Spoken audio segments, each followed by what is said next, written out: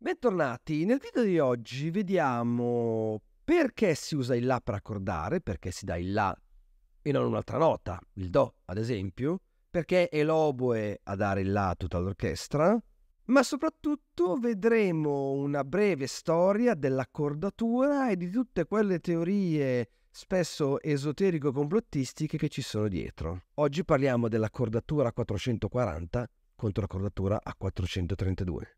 Allora, se non siete dei musicisti o se non avete un orecchio mh, mm, particolarmente allenato, eh, forse potreste non sentire come differenza tra questa nota e questa nota.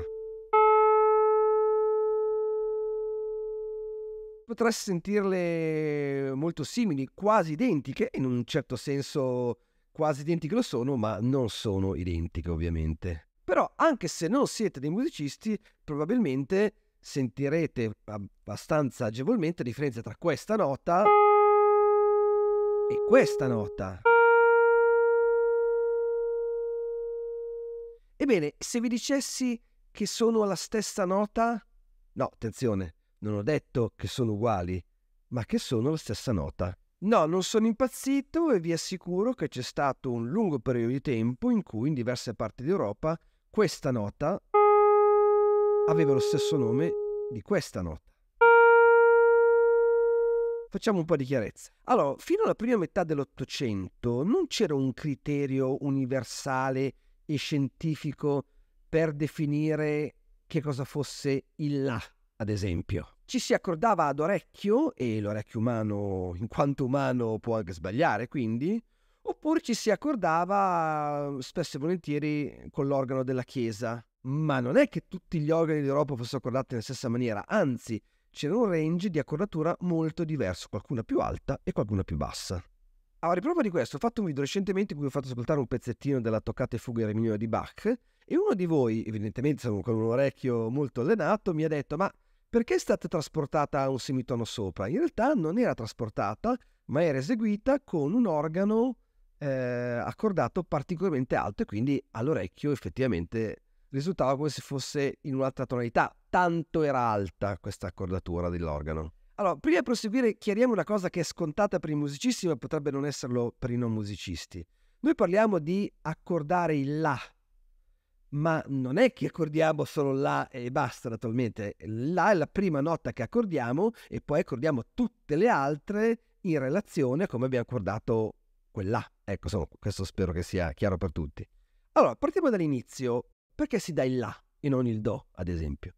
Si dà il La perché quel La che viene dato dall'oboe, e adesso vedremo anche perché lo dà l'oboe, cioè il La che c'è sul secondo spazio del, del rigo musicale, è una nota che più o meno ha tutta l'orchestra. Cioè voi lo sapete che in orchestra sono gli strumenti che sono molto acuti e gli strumenti che sono molto bassi, ma quella nota più o meno ce l'hanno tutti eh, non solo per viole e per i violini, quindi per una buona parte eh, di tutta la sezione di archi addirittura ce l'hanno come, come corda vuota, proprio a quell'ottava.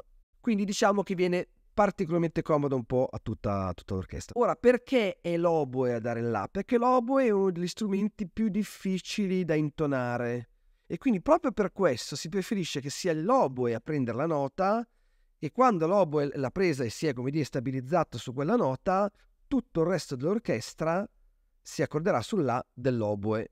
Ecco, vediamo cosa succede in un concerto normale. L'oboe prende il La, lo dà al primo violino, che è quello che si è alzato, la donna che si è alzata, la quale a sua volta darà il La agli archi e di conseguenza a tutta l'orchestra. Poi tenete presente che in molti casi l'accordatura che viene fatta sul palco è poco più di un proforma perché in realtà l'accordatura seria, fine, si dice, è già stata fatta prima di salire sul palco. Poi tecnicamente l'oboe darebbe anche si bemolle per i suoi traspositori e, e, e, per gli ottoni, ma insomma comunque oggi limitiamoci veramente alle, alle nozioni di base. Per capire le nozioni di base dobbiamo però prima capire che cosa vuol dire accordare a 440 Hz. Lo sapete, presumibilmente il suono è vibrazione. Eh, 440 Hz vuol dire che quel suono, quella nota, è emessa con 440 vibrazioni in un secondo, che sono talmente tante, talmente strette tra di loro, che al nostro orecchio eh, risultano come una nota fissa, ma in realtà se l'andassimo a scomporre, quella non è una nota fissa, ma è un insieme di 440 vibrazioni. Se però 440 vibrazioni al secondo ovviamente non sono percepibili come vibrazioni, ma appunto a noi sembrano un unico suono, se suoniamo una nota molto grave tipo questa, eh, sentite un po' le vibrazioni, le sentite? Perché le sentite? Perché sono un numero molto molto inferiore a quelle 440 e quindi essendo molte meno vibrazioni in un secondo, eh, l'orecchio comincia a percepirle, comincia a percepire che il suono è fatto da un certo numero di vibrazioni. Quindi dicevo, più o meno fino alla metà dell'Ottocento ogni orchestra si accordava un po' come voleva e anche quando è, eh, si è trovato il modo di misurare la frequenza, non c'era un modo né una legge che valesse per tutti per dire il La si prende a questa frequenza. Perché quelle che vi ho fatto ascoltare all'inizio, le due note, cioè questa qua a 4,40 e questa qua a 4,32, sono sempre due La, però sono due La diversi. È un po', mm, come dire, Immaginate come un colore, il verde c'è il colore verde, però il verde può essere verde pisello, verde chiaro, verde smeraldo, eccetera, eccetera. Ovviamente anche secoli fa c'era il diapason esattamente come ce l'abbiamo oggi, però non erano dei diapason eh, uniformati a 440, per cui eh, anche questi diapason variavano spesso. E quindi magari qualcuno era 423, qualcuno era 415 e fondamentalmente ogni città, ogni luogo e forse ogni orchestra si accordava un po' come voleva. Allora, è da parecchio tempo che se girate un po' su internet, anche su YouTube li trovate, ci sono una serie di video che tendono a eh, esaltare l'accordare il La e quindi tutti, tutto lo strumento, tu, tutta, tutta la scala musicale naturalmente, non a 440 come si fa oggi per convenzione internazionale, ma a 432. La ragione sarebbe che questo su 432 sarebbe un multiplo di una serie di vibrazioni dell'universo, del nostro corpo, del nostro cervello e così via. Quindi mm, capite bene che andiamo in un settore eh, che non è, eh, come dire, suffragabile con prove scientifiche. In più, senza entrare nel dettaglio, eh, che 432 sia un multiplo di queste frequenze dell'universo, ma insomma, Qualcuno dice di sì e qualcuno dice di no. E quindi i sostenitori del 432 dicono che essendo 432, come dire, in armonia con le frequenze dell'universo, la musica andrebbe accordata a 432 perché avrebbe un effetto benefico e rilassante, in certi casi addirittura curativo, sul nostro corpo. E per supportare questa loro eh, teoria, che lo ribadisco non ha una base scientifica eh, documentata, eh, dicono che tre grandi casi come Mozart, come Verdi e come Pink Floyd eh, accordavano a 432. Ed è e questa è una delle ragioni della grandezza della loro musica. E in realtà sono tre fondamentalmente bugie che si possono facilmente smontare. Allora, Mozart non accordava sicuramente a 4,40 perché per i tempi era una correttura molto alta, ma neanche a 4,32. Sono stati trovati eh, diversi diapason che usava Mozart sono dei diapason che, che sono intorno ai 422-423. In certi casi si scende addirittura a 415.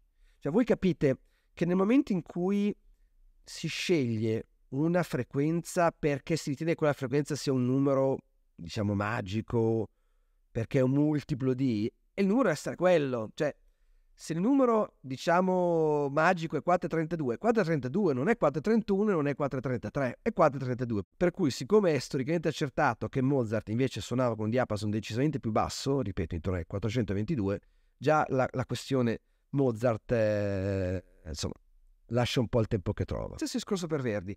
È vero che ci sono delle lettere di Verdi in cui lui raccomanda di utilizzare i 432, ma più che altro lo raccomanda per una questione di uniformità perché lui dice non ha molto senso che quella nota eh, sia un La a Milano e a Vienna diventi un Si bemolle. Se è un La deve essere un La in, tutta Europa, in tutto il mondo e la cosa era assolutamente sensata, ma non è che lui avesse una particolare predilezione per i, per i 432, tanto è vero che lui stesso, per esempio, il suo Requiem chiedeva di accordarlo a 435.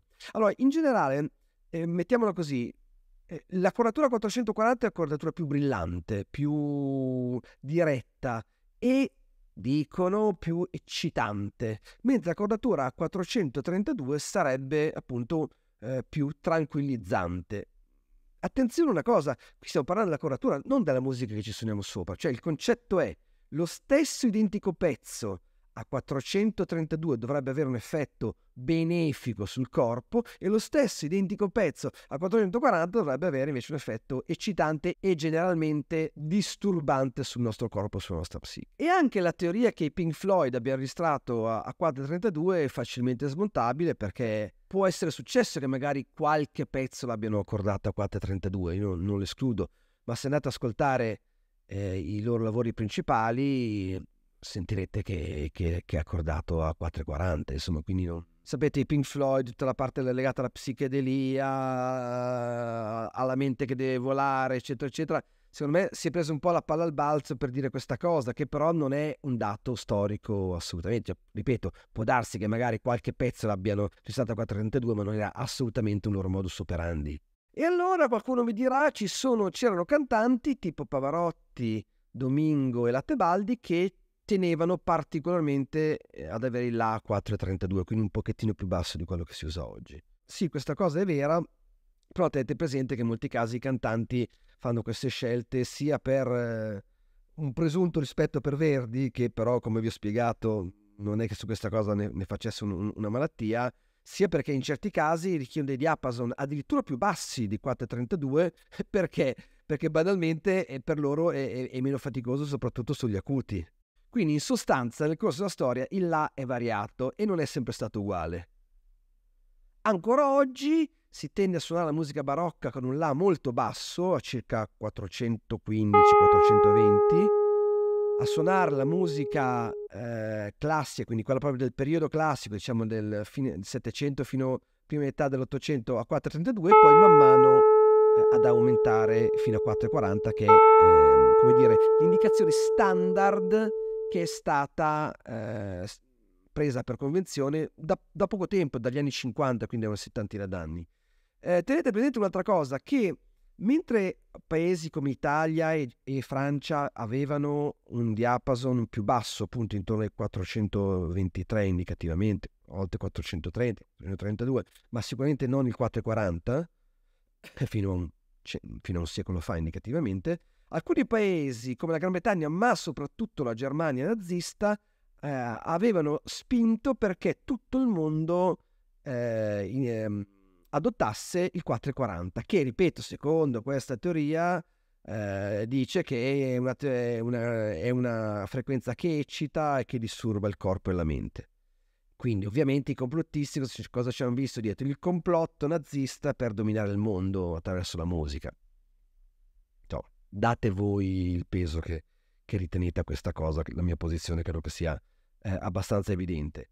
Um, quello che vi posso dire è, è chiaro che c'è una differenza tra questo là 440 e questo 432. Se io li sento, sento che uno è più alto e uno più basso. Ma se dovessi dirvi che ascolto un pezzo accordato a 440 e, e, e mi eccita e lo stesso pezzo accordato a 432 mi rilassa, Francamente no, sarà un mio limite, ma ancorché ovviamente percepisca la differenza fra le due note, non percepisco nessuna differenza sull'effetto che, che queste colorature hanno, anche perché comunque cioè, dipende molto dal pezzo che stiamo ascoltando, cioè voglio dire, se, se, se, il pezzo che ascolto è un pezzo di per sé compositivamente eccitante, eh, hai voglia di mettere la 432 e viceversa secondo me, però tanti esponenti, in particolare della New Age, hanno questa teoria che non dico che non concordo, rispetto sempre le idee di tutti, semplicemente per me è una differenza che non, non mi crea nessun tipo di né di vantaggio né di svantaggio, non la trovo né positiva né negativa, ancorché sicuramente a 4,40 sono, eh, sia più brillante, questo è, è un dato oggettivo. Ma da questo a dire che questo essere più brillante abbia eh, degli effetti negativi sul corpo e sulla mente, beh, insomma, mi sembra che ce ne passi. Bene, spero di aver chiarito un po' la questione 440-432. Scrivete nei commenti eh, cosa ne pensate. Lascio quindi decidere a voi se preferite il 440, il 432 o se, come nel mio caso, fondamentalmente non vi cambia la vita. Alla prossima!